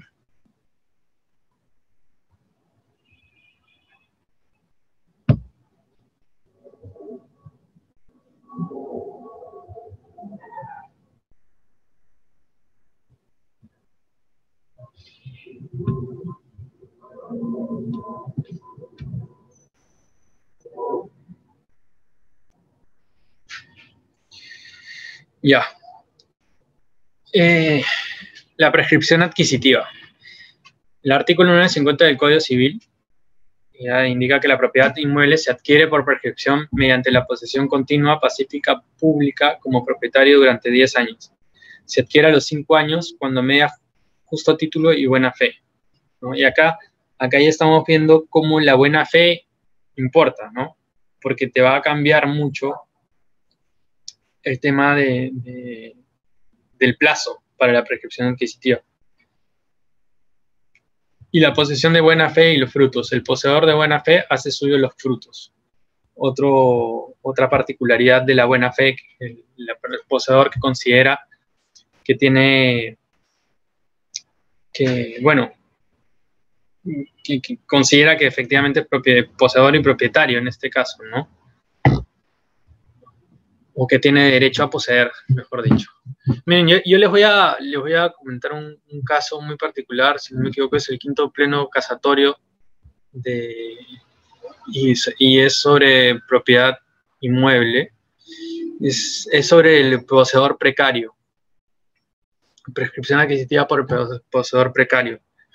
En este caso, en realidad lo que ocurre es que había una este, señora, bueno, creo que era un señor, familia que alquilaban una, un espacio, bueno, un, inmueble, ¿no? Y lo utilizaban como una bodega. Y ahí, y, y la primera tenía una, digamos, era de manera continua, tenía un contrato, ¿no? Al parecer, este, un contrato eh, y, durante mucho tiempo pues estuvieron ahí alquilando y, el papá con su hija, ¿no? Y el contrato era con el papá, el contrato de arrendamiento, se había dado así durante mucho tiempo, ¿no? Y lo que ocurre es que fallece el padre y la hija sigue poseyendo el bien. y bueno, en este caso, eh, ella plantea la prescripción adquisitiva de dominio por, por el tiempo que había estado utilizando, porque ella decía que tenía la posesión por más de 10 años, ¿no? Y que el contrato que había sido firmado por su papá, ella no lo había celebrado, o sea, ella no, no se estaba considerando como, como eh, digamos, como una poseedora inmediata, ¿no? Sino que en verdad está yendo más por, una poseedor, por un poseedor, ella está haciendo, quería que se le considera como poseedora precaria, ¿no? Que no tenía título y que tenía una posesión plena sobre el bien, ¿no? Acá no importa mucho la buena o la mala fe. Quería saber cuál es su opinión al respecto, cómo consideran esto. Yo, sé que me he adelantado un poco, este, no sé si el moderador lo permite, pero Este es un caso que es largo y que me gustaría tenerlo justo para discutir en los 30 minutos que tenemos.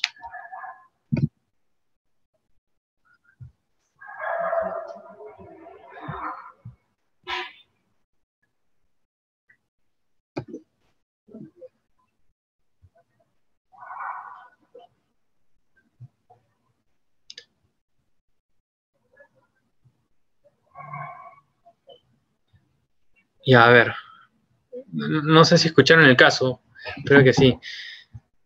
No, de hecho hubo un contrato de Edison. después voy a responder las preguntas que, me hicieron anteriores, ya del administrador. Este, Edison, eh, hubo intención primero de renta. De hecho, hubo renta, ¿no? O sea, es el papá con su hija, el papá celebra un contrato de arrendamiento, lo tiene por cierto tiempo, ¿no? Digamos, 10 años, si quieres, ¿no? años. Y este, este es un caso, ¿no? Y, bueno, fallece el papá y, la hija va por prescripción adquisitiva porque ella no reconoce, o sea, el contrato de arrendamiento había sido firmado por su papá, no por ella, y ella plantea que tiene la poseedor, tuvo la posesión como poseedora precaria durante, durante este plazo de 10 años, ¿no?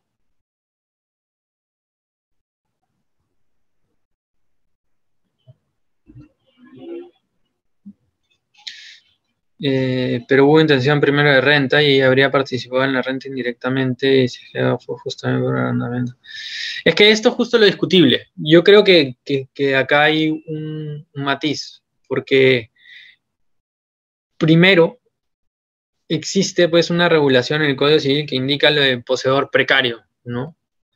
Quien sin justo título detenta la posesión. Entonces, se está dando un poco pie a que ocurran estas cosas. No hay, no hay mucha delimitación al respecto, ¿no? Entonces, no hay nada que me esté diciendo, o sea, es muy difícil probar que esta persona ha participado en la renta. Y yo creo que acá lo que tiene que pasar es que la realidad, ¿no?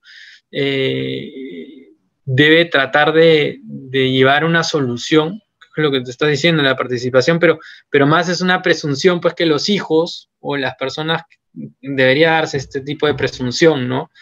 Que, que a pesar de que uno celebre un contrato este, con un titular que, es, tiene familia, en verdad debería darse este tipo de presunción y esta protección de que en verdad ellos también son poseedores mediatos, ¿no?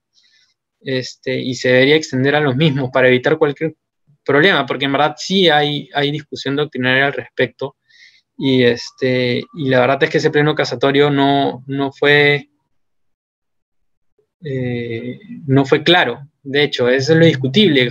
Se tenía toda la opción para poder aclarar este tipo de, situaciones y que en la realidad pasan, ¿no?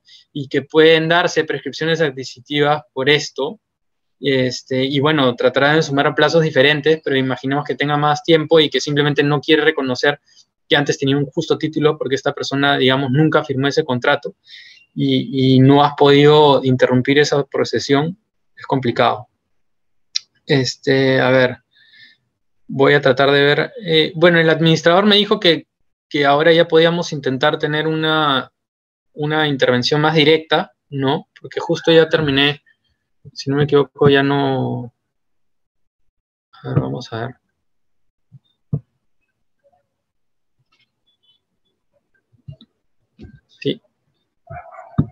Había calculado los tiempos justo para tenerlo ahí.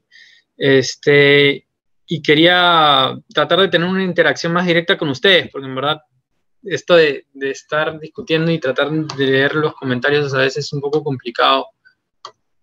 Este, administrador, ¿se puede? ¿Podemos intentar?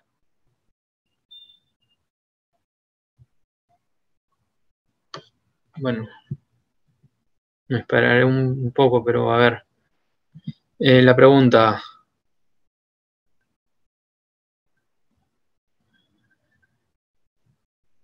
Si yo rento los aires de una casa y construyo, el propietario debería pagar la construcción. Lo que pasa es que ahí es justo lo que estaba indicando el Código Civil, ¿no? En realidad sí habría un tipo de reembolso, ¿no? O, o sea, tienes que acordar con él. Si él estuvo de acuerdo con lo mismo, ¿no? Y se dio de buena fe, además, este, porque, bueno, hubo acuerdo, ¿no? Eh, sí, sí procedería el, tema del reembolso, ¿no? El pago. Incluso ahí a veces uno puede tratar de retener el bien hasta que se cumpla con el mismo, ¿no?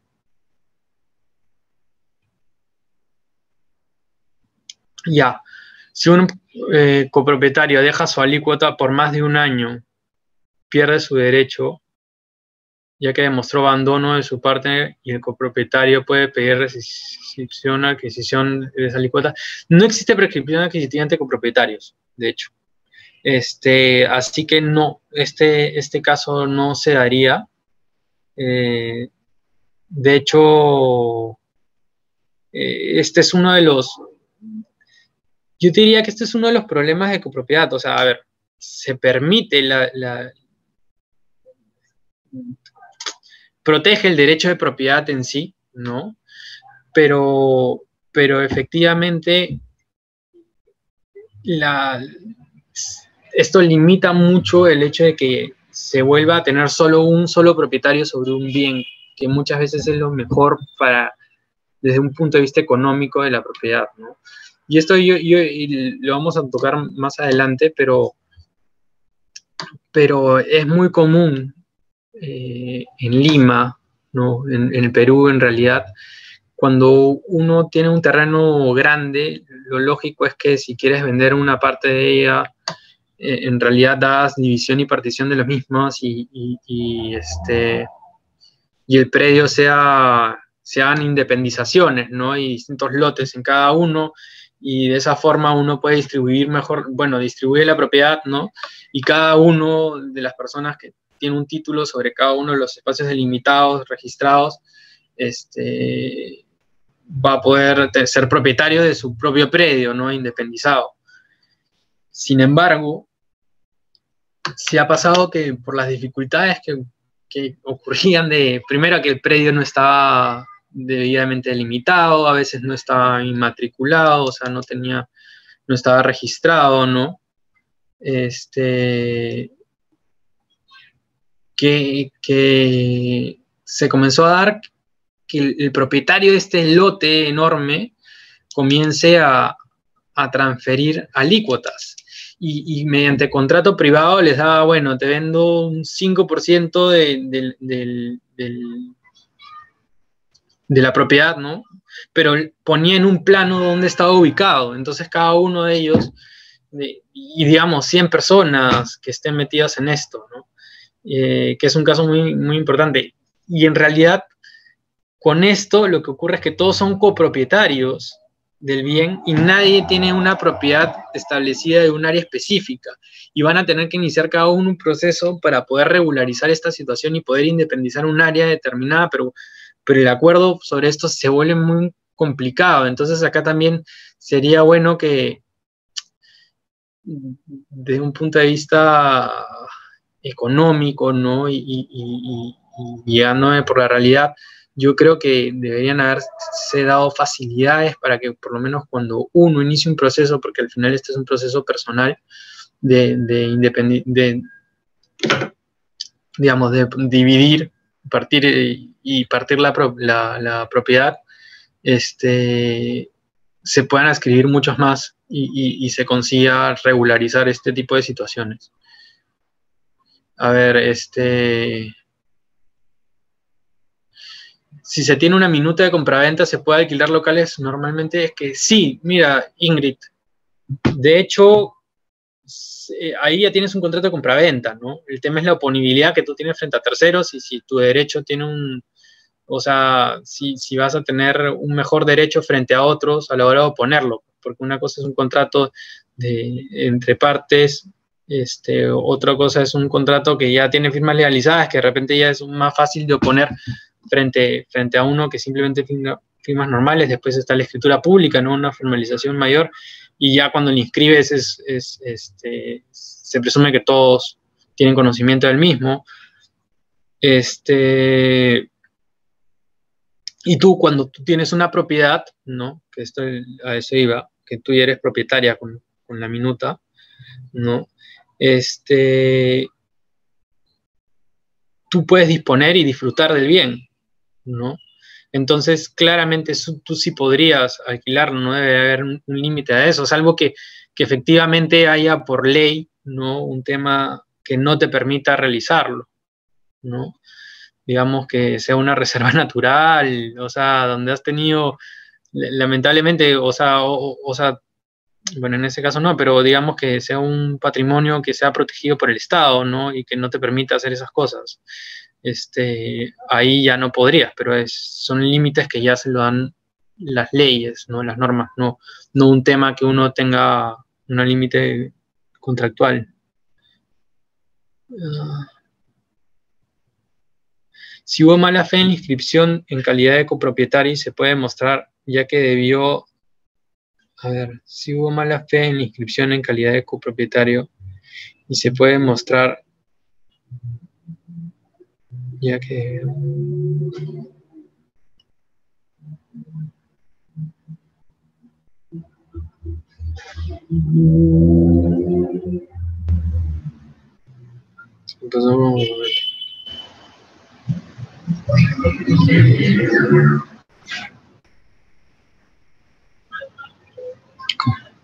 Disculpame, no, no entiendo mucho, Rodolfo.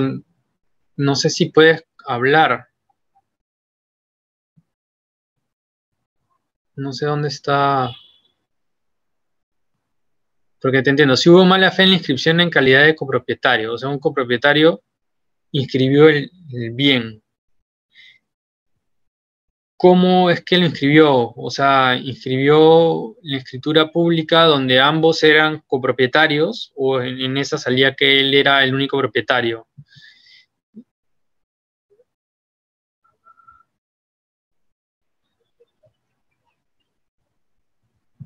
ya que debió darse como garante de una operación de compraventa. O sea, el, el garante entró como propietario y inscribió todo como si fuese propietario. O sea, por eso no, no, entiendo mucho el ejemplo. No sé si me lo podrías decir.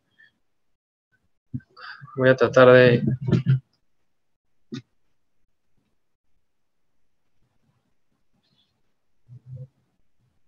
A ver si es que el administrador me puede permitir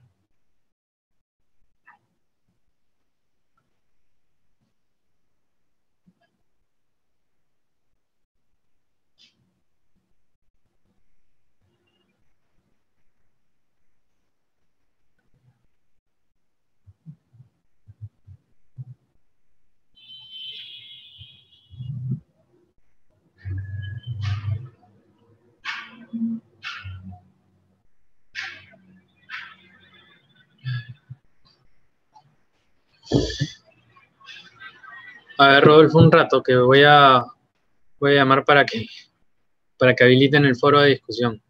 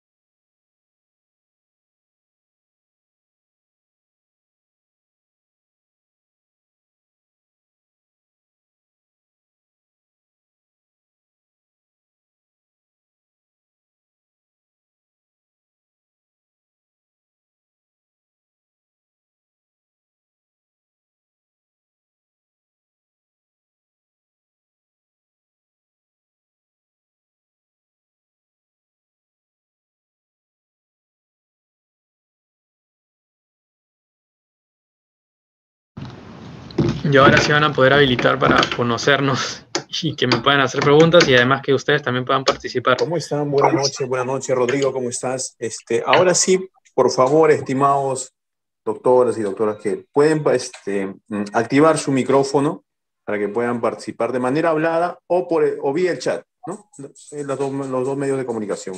Gracias, Rodrigo. No, gracias. Buenas noches, doctor.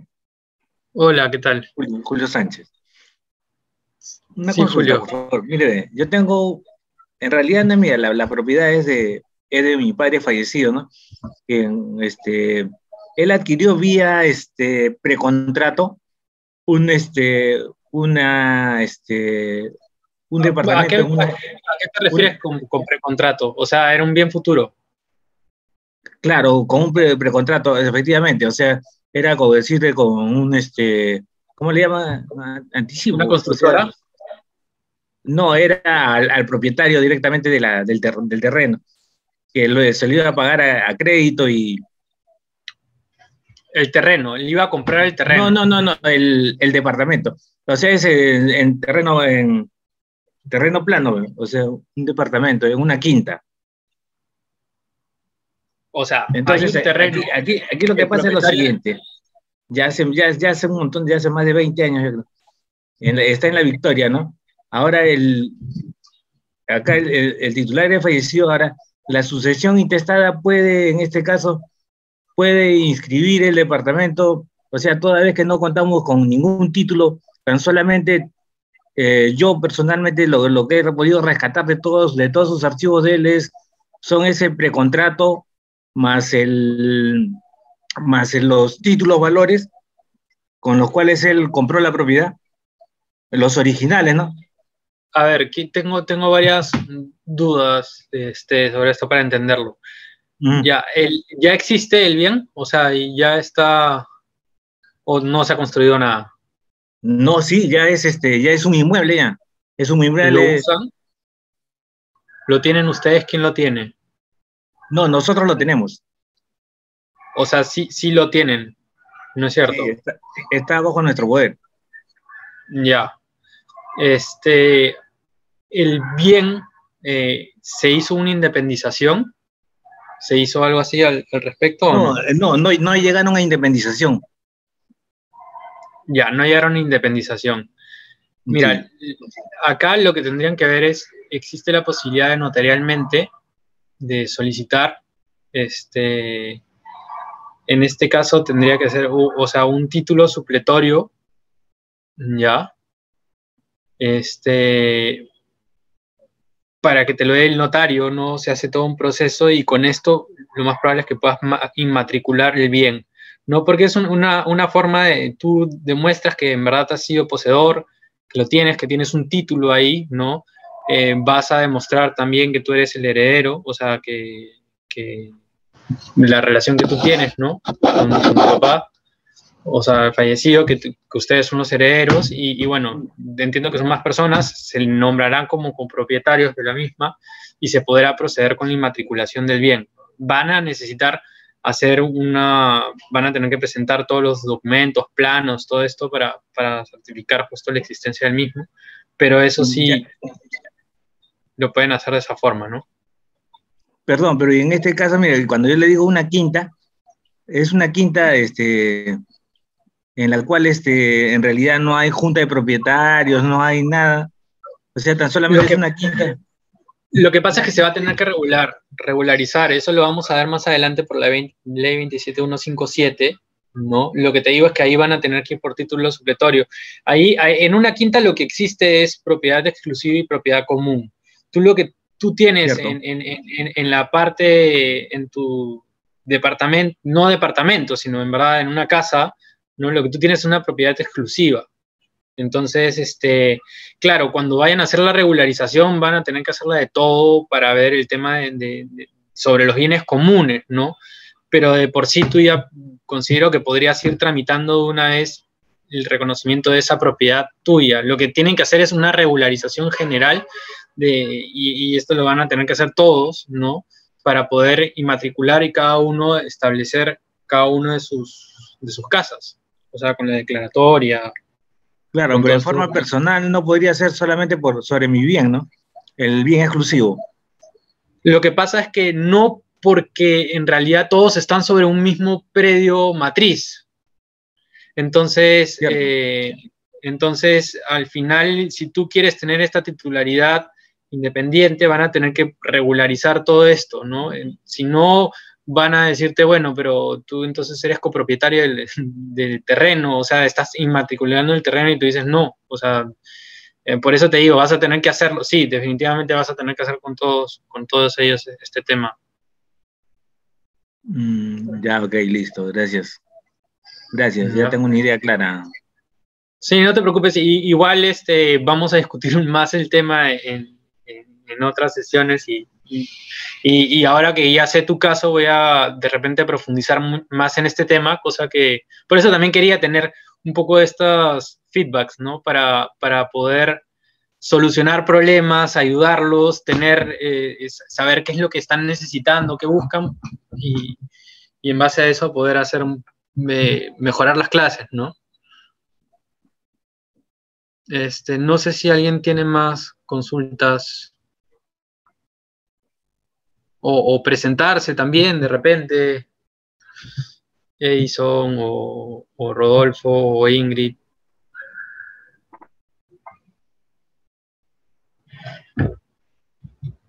Ahí está Luis Enrique Giles.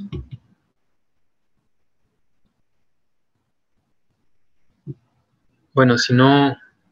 Doc, hola, buenas noches. Hola, ¿qué tal, Edison? ¿Qué tal? Eh, Doc, una consultita.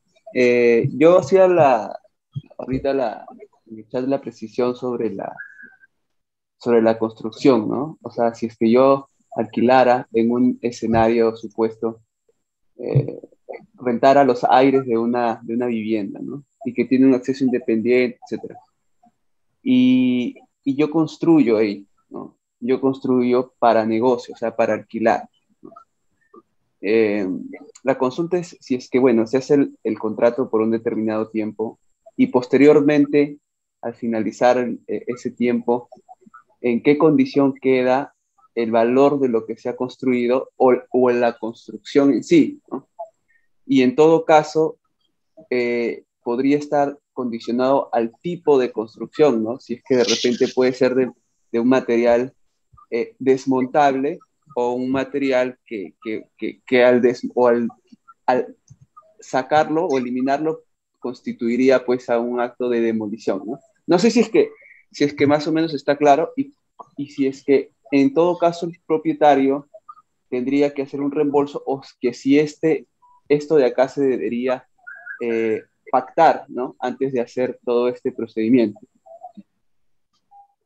Sí, sí me queda claro. De hecho, estoy, está regulado. Lo que pasa es que yo, he tratado de, darles una visión general del Código Civil en artículos que me parezca que sean importantes o que les pueda dar eso, porque si no, si estuviese viendo artículo por artículo, que es como se estudia en verdad derechos reales y, temas de propiedad, este, sería un poco complicado, ¿no?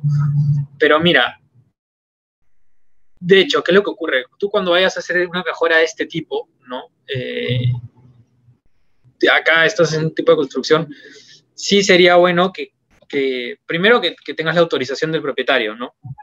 Porque generalmente cuando ellos te dan un contrato de arrendamiento, en verdad ahí no te indican que puedas usarlo para, para alquilar, para subarrendar generalmente este es una limitante y, este, y podría traerte problemas después. Este, y además, si es un contrato de arrendamiento, es un contrato típico que lo pensaba hablar, pienso entrar más a detalle esto en el código, en la última clase, ¿no? Un poco para tener algunas ideas. Este, y, y, si tú has pactado que vas a dejar estas mejoras y el propietario te ha autorizado, en realidad sí correspondería que te lo paguen, obviamente, contractualmente es diferente, o sea, uno sí puede pactar en contrario el Código Civil, si no has pactado nada, esto es la diferencia. Este, sí tendrías derecho al reembolso de las mejoras y en verdad sería un, tema de, valor de mercado. ¿ya?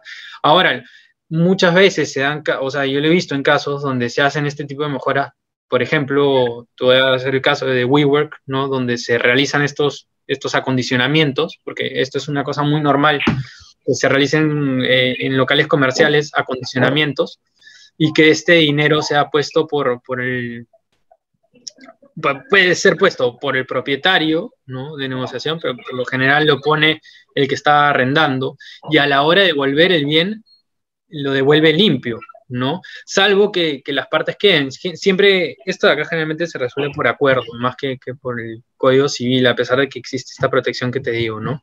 Que es la restitución del valor.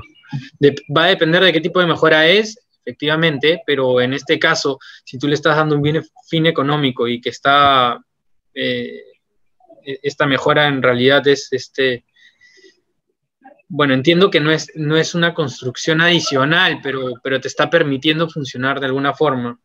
¿no? Este, operar ahí y generando valor, sí, es lo que he dicho, que vendría a ser una mejora útil en ese sentido, ¿no?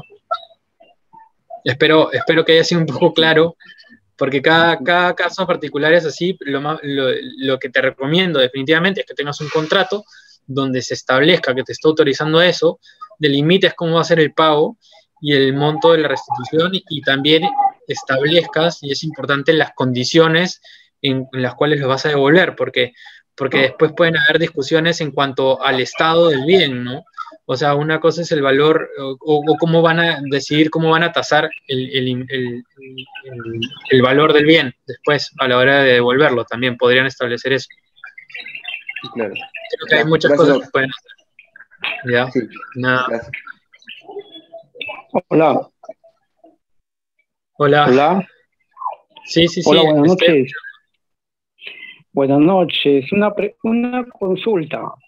Eh, cuando eh, una, un bien, eh, uno de los hijos en una Perdón, te estoy perdiendo. Bueno, hola, ¿me escuchas? Sí, sí, sí.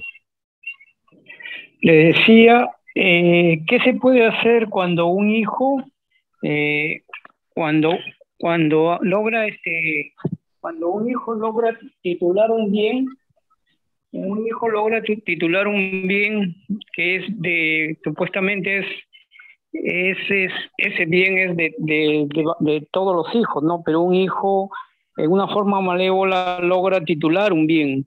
Eh, cuando los demás hijos se dan cuenta de ese bien que ya está inscrito en registros públicos en una forma malintencionada o malévola.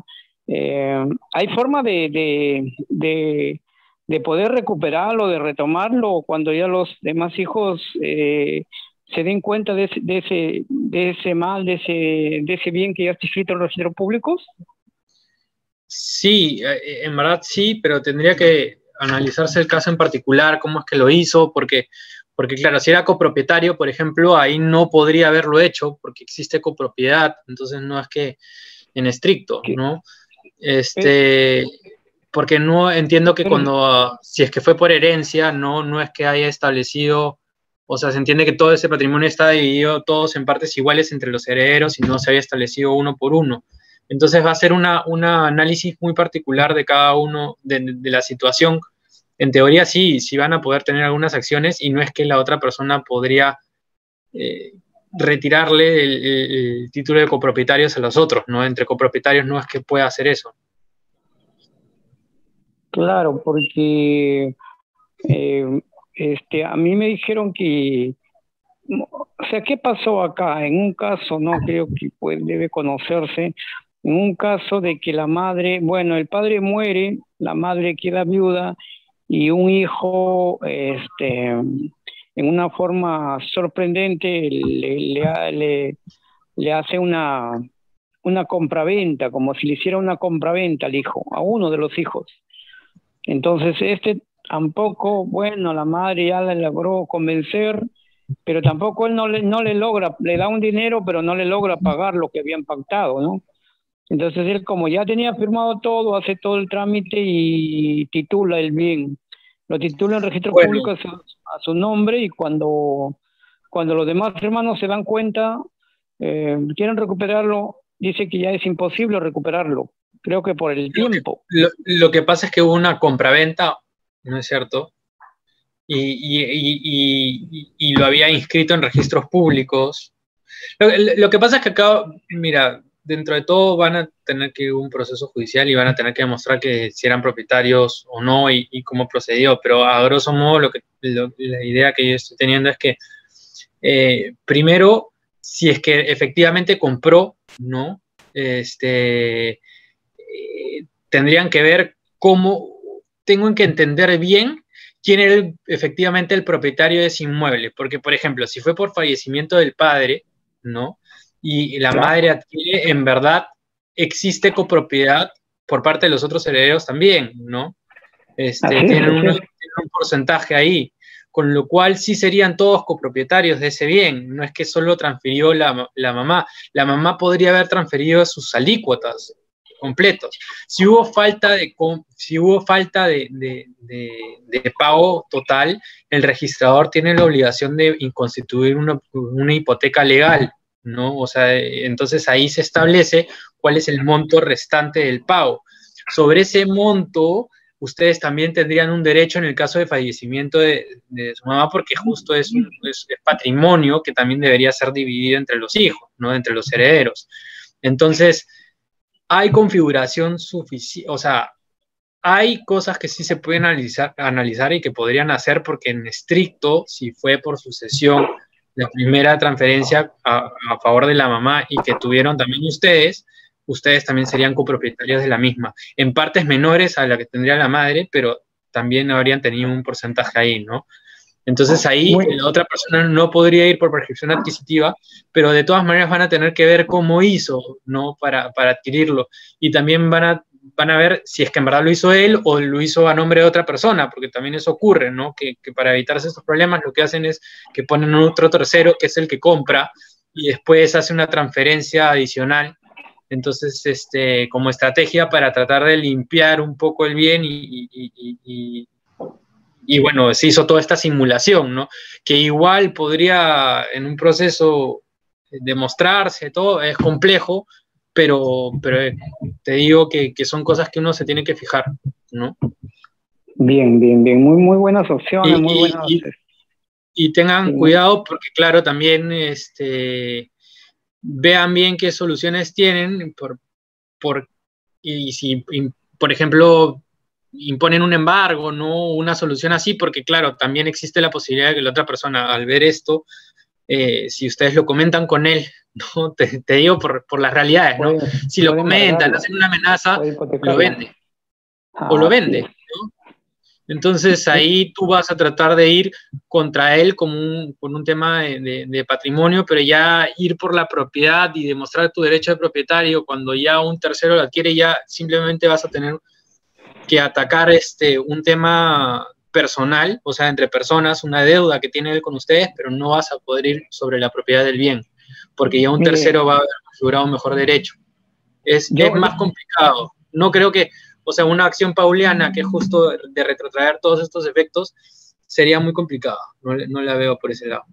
Un, un abogado me dijo de que ya no se podía recuperar el bien porque ya había pasado un tiempo, creo que 10 años, creo, y lo que pasa es que, claro, la prescripción adquisitiva opera así, pero no puedes poner como prescripción adquisitiva cuando hay copropiedad. Entonces, en el caso que tú me estás ah. diciendo, podría haberse configurado una copropiedad. ¿No es que ustedes se heredaron también? Claro, claro. Muy bien, bueno, habría que analizarlo más. Muy bien, muy bien el caso. Muchas gracias. ¿ah? No, de nada. Un gusto.